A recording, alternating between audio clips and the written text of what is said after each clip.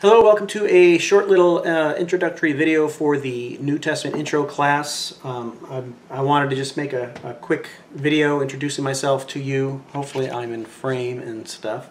Uh, by now you've done, or most of you have done the first assignment. Uh, the first three assignments really are introductory stuff to the New Testament introductory class, so I won't be having any discussion uh, boards for them. But anyway, um, I just wanted to let you know that uh, hopefully uh, you all have this book right here. Um, there's a number of different uh, New Testament books uh, that I could have chose ch chosen from, but uh, you know I was asked to do this a little late, so I didn't have a chance to um, really do an in-depth overview of all the possibilities. But I've I've had this one for a while. Um, I think it's uh, really easy to understand and um, the layout's pretty good. And so I want I decided to go through this. I think uh, for an intro introductory level class I think this is one of the best ones to do. Um, also you have uh, this one by Nijay Gupta uh, Beginner's Guide to New Testament Studies. This short book um, obviously takes you through a number of New Testament studies issues that scholars like to debate that um, you should be aware of. I think they're very interesting and it'll help you understand the New Testament more. Uh, but at the same level, at the, at the same time, um, this is this is really just kind of gives you a heads up for the the more higher level issues that you would get to once you understand and kind of get a good handle on the New Testament itself. And like I said, this is a uh, New Testament intro class, so that's that's really going to be the focus. Um, obviously, another thing you want to have on hand is obviously a New Testament, you know, a Bible. Um, the way to do this course, um, again, any intro course is a little problematic because the best thing you can do is to kind of give a general overview of everything. Um, so we won't be able to go into a lot of detail about the Gospel of Mark or, or Romans. And so to truly understand any one of these uh, New Testament texts, you really have to spend time really munching on each one individually and reading it separately and really grasping it. Um, what this course will, will simply do is to kind of open the door to that New Testament world, give you a, an understanding of what the main themes are, what the main issues are, what the main things to look for in each New Testament letter or book are. And then it's really going to be up to you to kind of investigate and explore that world on your own. But hopefully if I do a good job, you'll have a good, good overview of everything. And so therefore, as you've already looked at the syllabus, I'm not going to go through the whole syllabus, but I've, I've kind of broken down the course into three different modules. Uh, you have the Synoptic Gospels and Acts. The Synoptic Gospels are Matthew, Mark, and Luke. John is a gospel, but it is very different. So I'm going to have us look at John when we look at the other writings of John. So this first module is going to be the Synoptic Gospels and Acts. And as you can see, there's some introductory uh, chapters and whatnot that you'll read from the textbooks. But also what I'm going to do, um, I do want you to try to read the actual New Testament texts as well, not just read a textbook about the book, uh, the New Testament.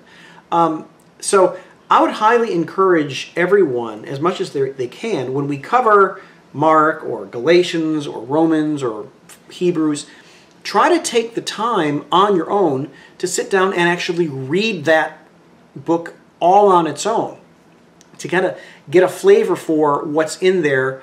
Um, maybe after you read the New Testament in Antiquity chapter and uh, the assignments that I'm going to get, have you do, uh, make sure to take the time to read the whole thing and see how it all fits together. I think it, will be well, well worth it.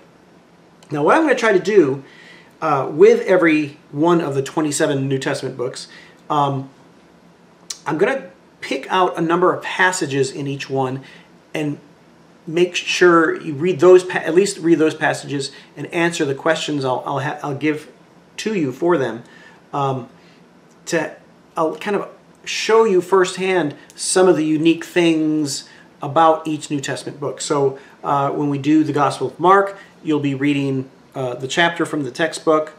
Um, and then I'll pick th- probably three passages from Mark that I'll ask you to read um, and answer questions to, and I'm, I'll probably give you some some of my own written explanation of that passage that'll kind of walk you through the passage, just to to make sure you you have an appreciation for what Mark is doing, or what Matthew's doing, or what Paul's doing in his letters, um, and by doing that, uh, like I said, you'll have a better uh, appreciation not only for each individual book in the New Testament, but also you'll have you'll have a, a, a, pretty decent grasp on what each book is focusing on and what it's trying to teach and whatnot. Um, and so you see the three modules there um, on the, in the in the um, what do you call it syllabus. Uh, Synoptic Gospels and Acts will be module one. Module two, I've labeled the letters of Paul. That being said, as we'll find out, um, some of the letters in that section are what they call disputed letters, whether or not Paul himself actually wrote them or whether it was somebody else. We will touch upon that issue and why scholars debate it, but um, traditionally they are understood to be letters of Paul, well, knowing well, knowing full well that there are a few that are a little iffy, but we're going to put them there anyway.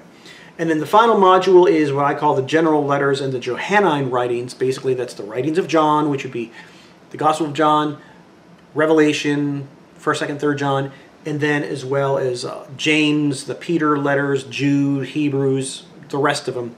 They'll go in that module. Um, and the, key is just to keep up with uh, the assignments as we go along. Every yeah, to have an assignment due every three days or so. Um, and then at the end of each module, we'll have a test. So there won't be a midterm and a final. There'll just be three tests, one for each module. Um, I think that's a, an easier way to, to handle it. Um, and so, anyway, that's kind of how we're going to do it. Um, we'll see how the end of the semester goes. You know, after Thanksgiving, we don't meet, but then we don't meet anyway. Um, I'll at this point, I have that final test for right after you you take the Thanksgiving break, and then you'll be done by December 1st and get it all the way. So you'll have um, the, the three tests, the uh, various assignments that you, they'll walk you through everything, and then also with each biblical book when we cover it, I'll have uh, something on, on the on a discussion board, a, a question of what you've read. You know, I'll ask you to explain what you feel is the point of this certain passage or whatever. And in that discussion board, um, I want everybody to kind of contribute and, and give your thoughts and maybe respond to other people. And um, that's kind of more of an open forum to discuss, kind of like what we would have in a classroom. But this way, if you if you do that, you will you'll get credit for it. It's it's 15% of your grade as long as you you know give give your thoughts when asked, you'll you'll get the 15%. Now obviously if you if you only answer half the time on the discussion board, you'll get about 8%. But it's pretty much a, a gift for you. 15% you'll have if you just take the time to respond and kind of interact on that. Um, so I think um, that is uh, the what the course is going to look like. Now, um, you all uh, just did uh, that first assignment which I think is uh, pretty interesting. It gives you much needed background historical information on the world in which the New Testament takes place, the first century and the events leading up to it. Um, and it really is interesting. It really is a fascinating thing. I hope you enjoyed um, doing it.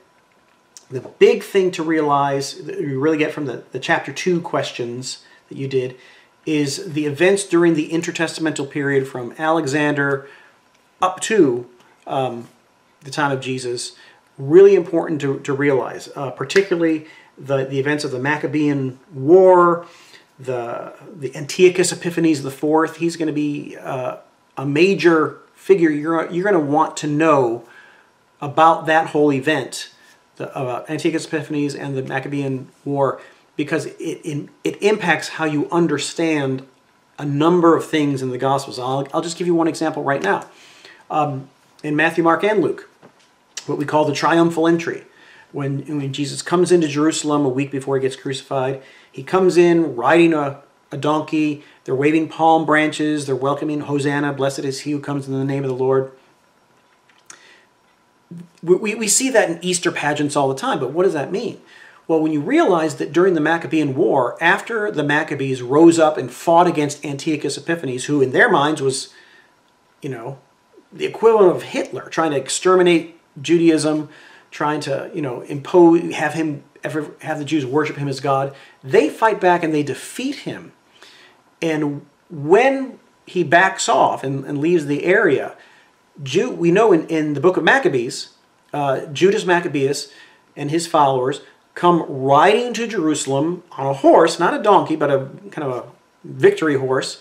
And they come out, they're waving palm branches, they're singing psalms. And the first thing Judas Maccabeus does when he gets into Jerusalem, he goes to the temple and he cleanses the temple. He gets rid of the, the desecrating sacrilege, the idols, um, and he proceeds to cleanse the temple. Now, he's not the Messiah, but he, in the Lord's name, has accomplished this great victory if you know that, and then you put yourself in the in the in the mindset of being a first century Jew in Jerusalem during that Passover in 30 A.D., you you you heard these rumors about some prophet in Galilee who might be the Messiah. And it's Passover. And when do they celebrate at Passover? When God liberates his people from foreign oppression. Right now you hate the Romans, and that's what you're hoping for. And all of a sudden, this prophet from Galilee who might be the Messiah, you see him come into riding Jerusalem, riding a donkey, um, which has echoes of a, a, prophecy in Zechariah, which talks about the coming king riding a donkey.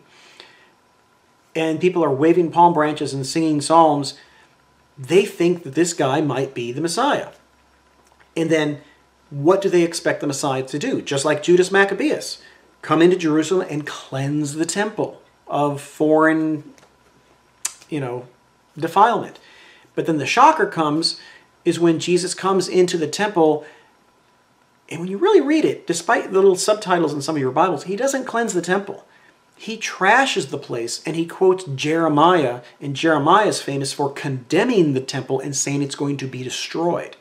And so, right there, reading the triumphal entry scene and the cleansing of the temple scene, if you know this history of Antiochus Epiphanes and some of the Old Testament background, you realize that the whole scene is set up to where the Jews are expecting Jesus to come in, pick a fight with Rome and destroy Rome and cleanse the temple. And instead, what he does is he comes in and he condemns the temple.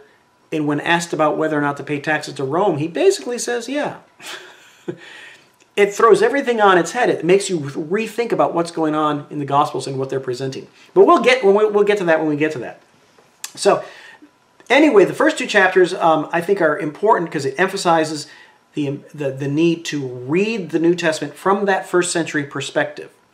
Try to get in the sandals, if you will, of those people, of the original hearers, and, and read and understand these, these texts from that perspective.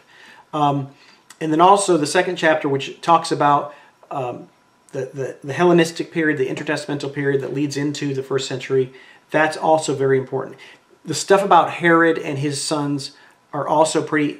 Just helps you root these these um, the New Testament texts in that time period. And so um, I think you'll uh, hopefully you'll enjoy the class and um, just keep up with the homework. Um, hand it in on time, and I'll I'll make sure to uh, respond in the discussion boards and with your homework.